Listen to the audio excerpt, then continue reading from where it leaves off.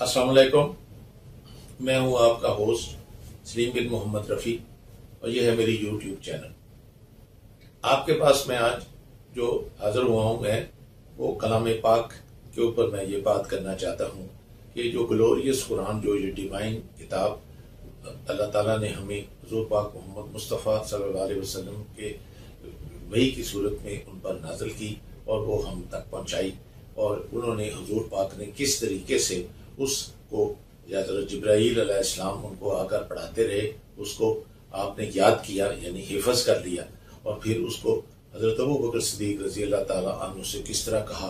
कि अबू बकर इसको इस तरह से, जिस तरह से मुझे हज़रत जब्राईसम ने कहा है, इस तरह से इसको अरेंज करो।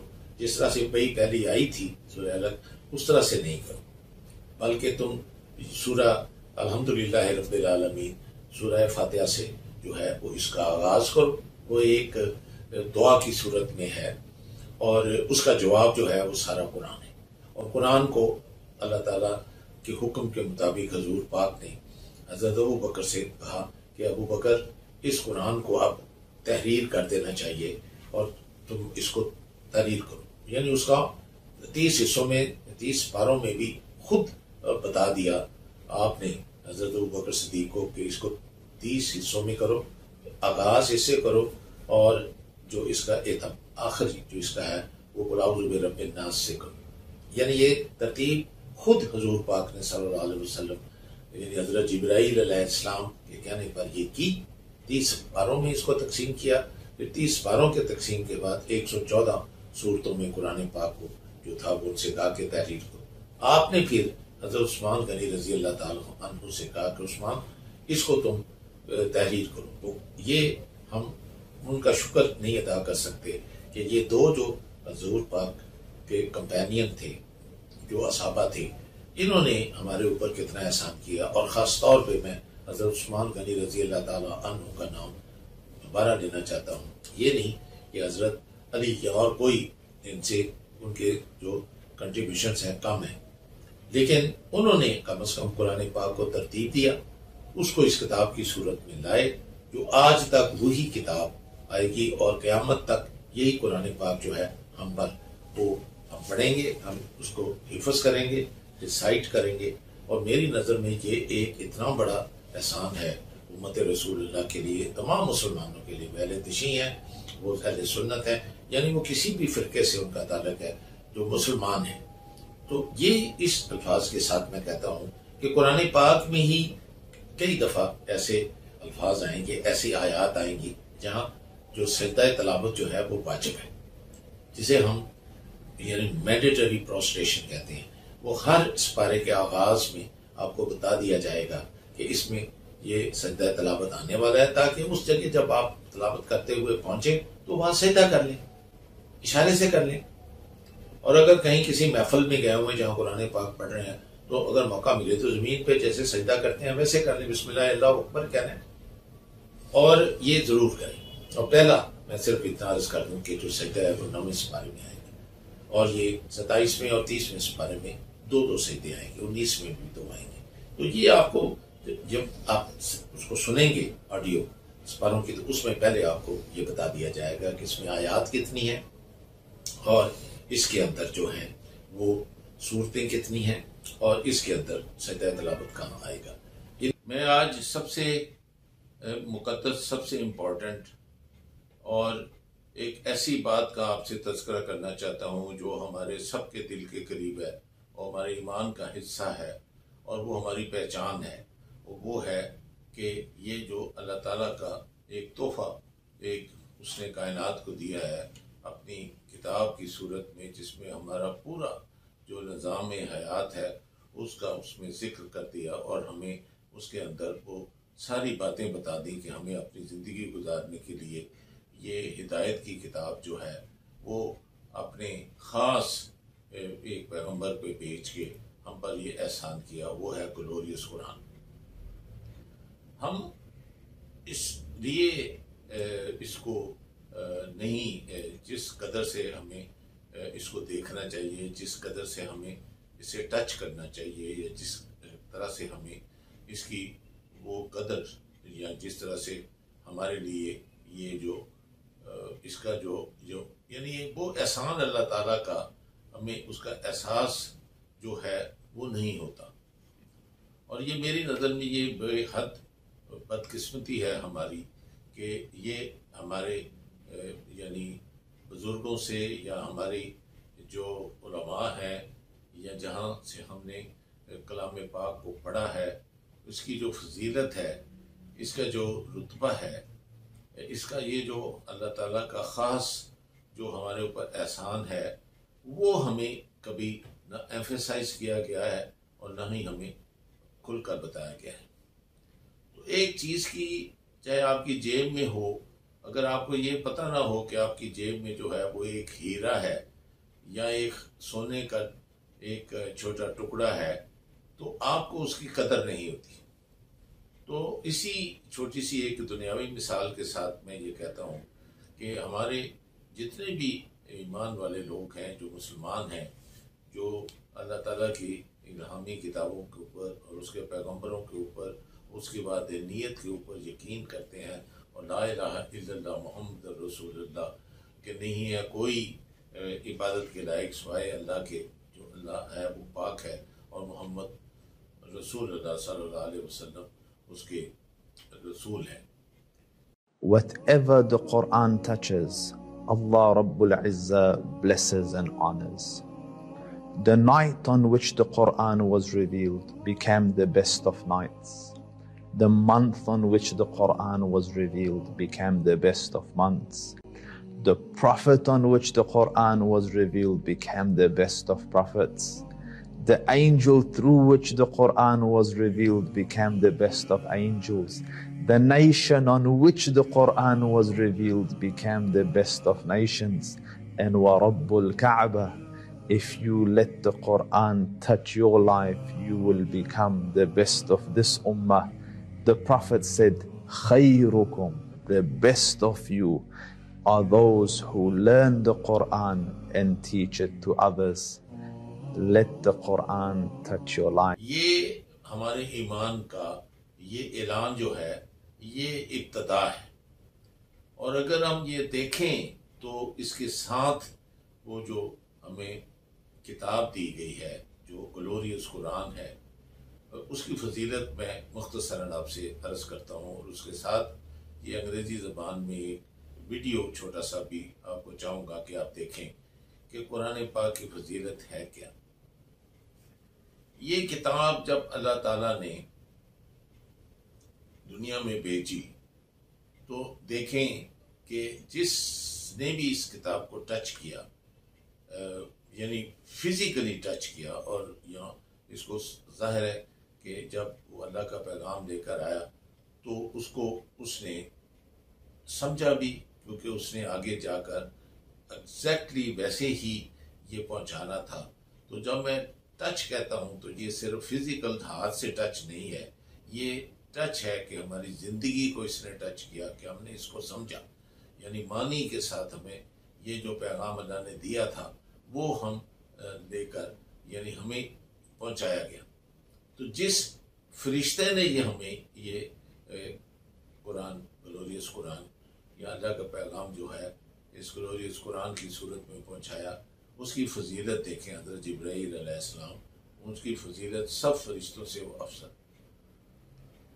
जिसको पैगाम ला के दिया गया, उसकी फजीलत देखें कि वो सब नबियों से अफसल मोहम्मद मुस्तफ़ा सल्लल्लाहु अलैहि वसल्लम, जिसके हम सब उम्मती हैं और हम पर इतना बड़ा अल्लाह का एहसान है कि उसने अपनी किताब हमारे रसूल अल्लाह पे, हमारे उस नबी पे, हमारे उस पैगंबर पे जो उसने भेजी तो अपनी खुशकिस्मती का आप इससे अंदाज़ा लगाएँ कि ये कितना बड़ा अल्लाह का हम पर एहसान है और उम्मत रसूलुल्लाह क्यों मुख्तलिफ़ है दूसरी सब पैगम्बरों की उम्मतों से। जिस रात को ये कुरान पाक उतारा गया उस रात की फजीलत देखें, उस रात का ये लैलतुल कदर कितनी हज़ार रातों के बराबर वो रात है। उसकी फजीलत जो खुद आप जो है, आखिरी अशर में, माह रमज़ान में आप उसको ढूंढते हैं।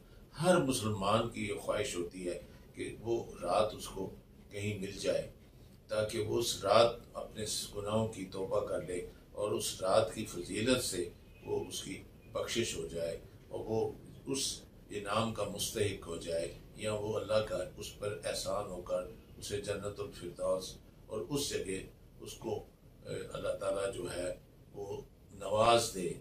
जो बड़े बड़े पैगंबरों की बड़े बड़े जो हैं बड़े बड़े जो वली अल्लाह हैं बड़े बड़े जो उसके अतात शुार बंदे हैं, उनकी ख्वाहिश होगी कि वो वहाँ जा सकें और मुस्तकिल वहाँ जाकर रह सकें।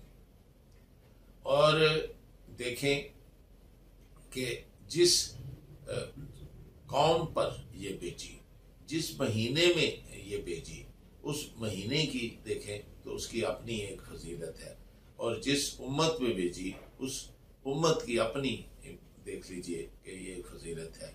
तो मैं इस छोटे से इंट्रोडक्शन के साथ के ग्लोरियस कुरान की अजमत क्या है।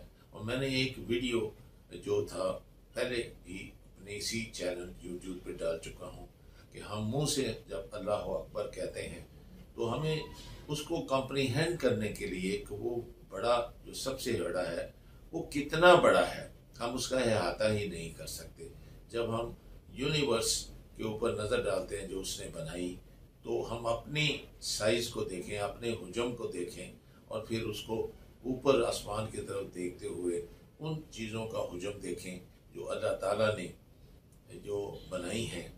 और उसमें आप देखें कि अगर आप छोटे से सितारे देखें, जो कि आपस में जब जुड़ते हैं तो उससे आपको नज़र आएगा कि ये कह कशाएँ जो हैं वो बनती हैं। जो कह कशाएँ बनती हैं और जिस कह कशां का हम हिस्सा है, जिसे हम मिल्की वे कहते हैं, वो उन हज़ारों लाखों कहकशाओं में से एक है। और जब वो कह कशाएँ जो हैं, वो जब आपस में मिलती हैं तो उससे आप देखें कि क्लस्टर्स बनते हैं। और वो क्लस्टर्स जो है, जो लाखों की तादाद में जब जुड़ते हैं तो वो सुपर क्लस्टर्स बनते हैं। तो इससे आपको अंदाज़ा होगा कि कितने millions and trillions of years लगते हैं कि हम उस जगह जो है, वो पहुँचना तो क्या, अब, यानी वो क्योंकि ये एवर एक्सपेंडिंग वो एक यूनिवर्स है उसका हम एक हिस्सा है। और हमारा जो हजम है, हमारा जो साइज़ है, वो देखें कि वो कितना छोटा, कितना ज़र्रा है एक और पूरी कायनात के तो उसको कायनात को जो बनाने वाला है उससे अंदाज़ा करें कि वो कितना बड़ा है। तो वो है अल्लाह अकबर। तो इसी तरह मैं ग्लोरियस कुरान का, ये मैंने इसका जो वीडियो बनाना मुनासिब समझा और आपकी खिदमत में पेश किया कि हमें इस ग्लोरियस कुरान की इस किताब की अजमत का तब पता चले कि अल्लाह ताला के ये कितना बड़ा एहसान है कि अगर हम इसको सही तरीके से टच करें, यानी ये हमारी ज़िंदगी को टच करें हम ज़िंदगी अपनी जो है बसर करें, इसके अंदर जो हदायत हैं, उन हदायत को अपनी ज़िंदगी का हिस्सा बनाकर तो ये कितनी बड़ा अल्लाह का हम पर एहसान है। तो मैं ये आपसे जो सामने आप देख रहे हैं मैं उसी ग्लोरियस कुरान को कि जो हजूर पाक सल्लल्लाहु अलैहि वसल्लम पे हज़रत जब्राईसलाम वही की सूरत में लाए और आपने जिस तरह हज़रत जब्राईसलाम ने कहा, इसे तरतीब दिया और फिर किस तरह से उन्होंने अपने असाबा हज़रत अबू बकर सदीक रज़ी अल्लाह और फिर उन्होंने हज़रत उस्मान गनी रज़ी अल्लाह तहो से ये कहा और ये किताब उसी तरतीब के साथ, ये किताब कलम बंद हुआ और ये किताब छप कर ये हमारे तक पहुँचा। और जो मेरे सामने जो इस वक्त कुरान, तीन वॉल्यूम्स में पड़ा है, जो सबज रंग का कुरान आपको इस वीडियो में नज़र आ रहा है, ये पहले से लेकर दस पारे इसमें हैं। और इस अंग्रेज़ी और ये अरबिक ज़बान में ये जो किताब है, ये आपको यूट्यूब में ऑडियो की सूरत में भी आपको मिलेगा। और जो नीचे लिंक आप देख रहे हैं, उससे अगर आप आप उसको प्रेस करेंगे उस लिंक को आप अपने कंप्यूटर पे या अपने मोबाइल फ़ोन पे तो आपको ये सीधा उस ऑडियो पे ले जाएगा और आप इसको हेडफोन के ज़रिए या वैसे लाउड स्पीकर के ज़रिए आप सुन सकते हैं। फिर ज़ाहिर है जब आप सुनेंगे तो कोशिश करें तो आप इसको समझ सकते हैं।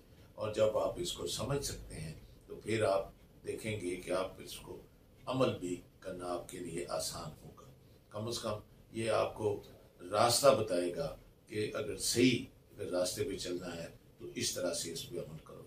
और जो सुर्ख रंग का आपको ये नज़र आ रहा है, वो वॉल्यूम दो है, और इस वॉल्यूम में सपारा ग्यारह से लेकर इसकी बीसवें सपारे तक इसके अंदर आपको यही मिलेगा। और लिंक को अगर करेंगे तो ये यूट्यूब की प्ले लिस्ट में जाकर आपको ये प्ले करना शुरू कर देगा, और आप सुन सकते जो नीले रंग का है, वो आखिरी दस सपारे हैं, जो कि इक्कीसवें से तीसवें सपारे तक जो हैं, वो आपको वो लिंक ले जाएगा और आप इसको सुन सकेंगे और आप इससे महसूस हो सकेंगे।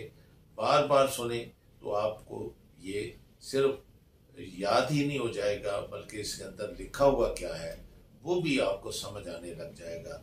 तो मेरी ये ख्वाहिश है कि मैं जब मुझे अल्लाह ताला का इतना बड़ा एहसान है कि मेरा सांस चल रहा है तो अल्लाह ने मुझे ये ज़िंदा रखा हुआ है। और मैं ये जो है, ये जो मेरे दिल की जो ख्वाहिश है कि मैं जो अगर कहीं ज़िंदगी में जिस तरह से इसको टच कर सका, मैं जिस तरह से इसकी जो फजीलत थी उसको नहीं सही तरह से समझ सका को मेरी ज़िंदगी में भी लैलतुल कदर आई। वो मेरी ज़िंदगी में भी मैंने ये सुना कि किस तरह हज़रत जब्राईसम गार हराम हजूर पाक के पास आए। वो मैं जब सीरत नबी की किताब तहरीर कर रहा था तो उसके अंदर मैंने काफ़ी तफसील के साथ जो था ये देखा। लेकिन ये समंदर के सरफेस को भी मैं टच नहीं कर सका कि इतना कुछ हजूर पाक की ज़िंदगी के अंदर समाया हुआ है। और ये जो अल्लाह ताला की मुकद्दस किताब है ग्लोरियस कुरान इसमें इतनी वसत है, इतना कुछ इसमें है कि ये पूरी कायनात के लिए इसके अंदर हिदायत है।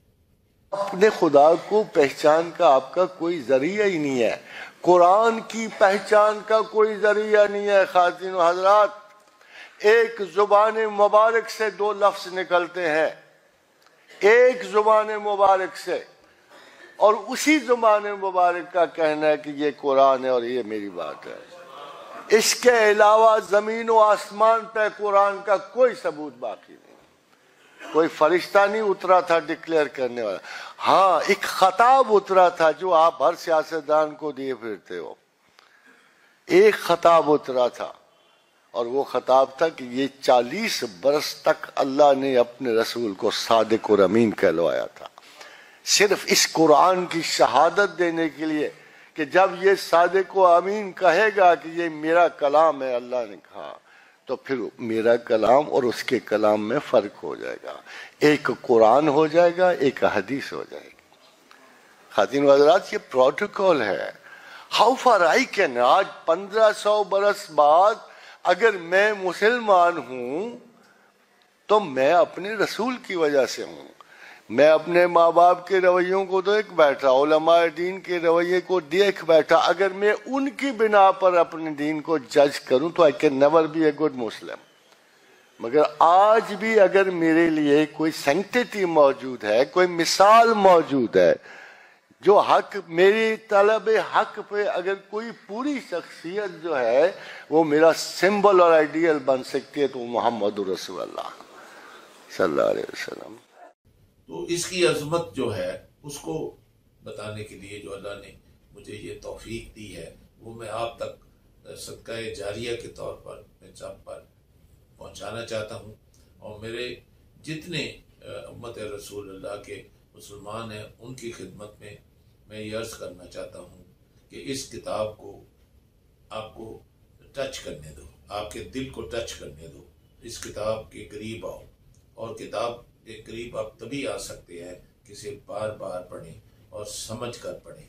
आप सिर्फ़ एक जबान में, जिसको ज़ुबान आपको आती भी नहीं है, उस जबान में पढ़ें तो सीख है आपको, स्वाब मिलेगा कि अल्लाह का मुकदस कलाम है।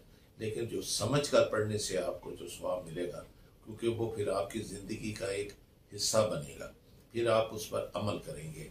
मैं इन अल्फाज के साथ के ग्लोरियस कुरान की अजमत जो है आपको टच करेगी।